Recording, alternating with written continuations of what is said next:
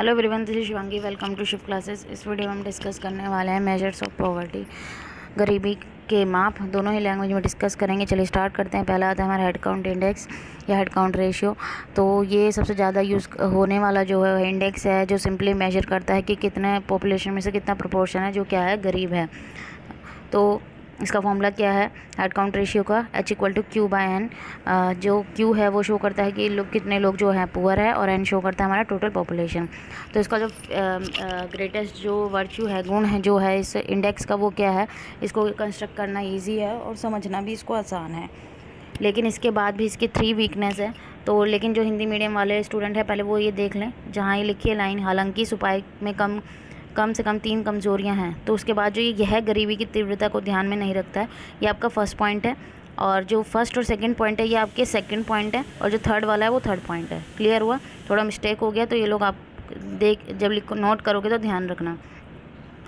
तो जो आ, क्या है हेड काउंट इंडेक्स है वो ये चीज़ को नहीं देखता है कि जो पॉवर्टी है उसकी इंटेंसिटी कितनी उसकी तीव्रता कितनी कितनी तीव्रता से जो गरीबी है वो बढ़ रही है। या घट रही है, ठीक है? और ये इंडिकेट नहीं करता है कि को पुअर कितना पुअर है। तो ये ये नहीं देखता कि भाई कि कोई गरीब जो है, वो और, जो गरीबी रेखा के नीचे था, ठीक है? वो और गरीब हो गया है क्या? ये चीज़ को वो नहीं देखता है। और पॉवर्टी का अगर एस्टिमेट हो रहा है, वो इंडिविजुअल लेवल पे होना चाहिए, ना कि हाउस होल्ड लेवल पे। तो अब आता है दूसरा पॉवर्टी गैप इंडेक्स तो ये एक इम्प्रूवमेंट है किसका? हेड काउंट इंडेक्स का। हेड काउंट इंडेक्स सिर्फ़ हमें ये बताता है कि टोटल पॉपुलेशन में से कितने लोग जो हैं पुअर हैं। लेकिन जो पॉवर्टी गैप है, वो हमें डेप्थ बताता है पॉवर्टी की, कि कितने लोग गरीब हैं। भाई पॉवर्टी जो हेड काउंट इंडेक्स है, उसने सिर्फ़ इतना बताया कि इतने लोग जो हैं, गरीबी रेखा के नीचे हैं और ये सब पुअर हैं। लेकिन ये नहीं बताया कौन कितना पुअर है। भाई, एक मान लीजिए पॉवर्टी लाइन डिसाइड कर दी फाइव हंड्रेड फाइव हंड्रेड से नीचे फोर हंड्रेड वाला भी गरीब है थ्री हंड्रेड वाला भी गरीब है। लेकिन जो थ्री हंड्रेड वाला है, वो फोर हंड्रेड वाले कंपेरिजन में ज़्यादा गरीब है। ये चीज़ हमें हेड काउंट इंडेक्स ने नहीं बताई, ये किसने बताई? हमें पॉवर्टी गैप इंडेक्स ने बताई। क्लियर हुआ? ये हमारा फॉर्मूला है आप लोग देख लेना। ठीक है one by N sigma Q Z bracket में Z minus Y Z divided by Z दूसरा तरीका भी है इसका लिखने का।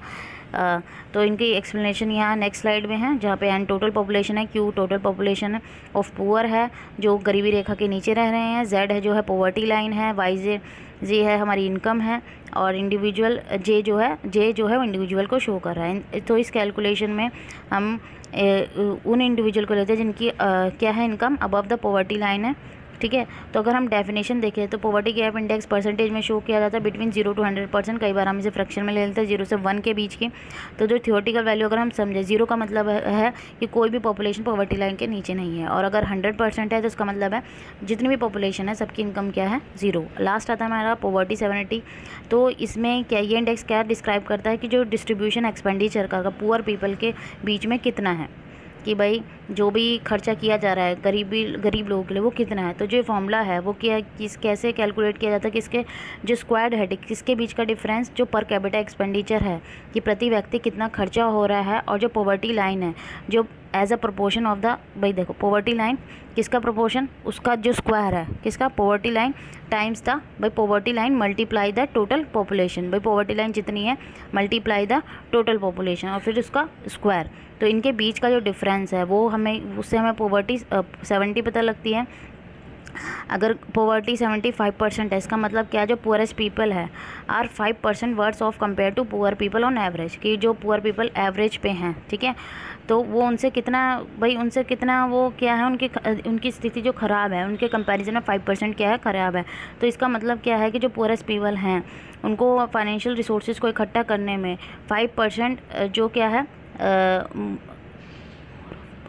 उन्हें कितना और चाहिए resources five percent more of the poverty line जितनी पॉवर्टी लाइन उससे पाँच परसेंट ज़्यादा चाहिए कि भाई वो एवरेज जो पुअर हैं, उनके कंपैरिजन में उनको पाँच परसेंट और जो है उन रिसोर्सेज को जुटाने में क्या करनी पड़ेगी? और ज़्यादा मेहनत करनी पड़ेगी।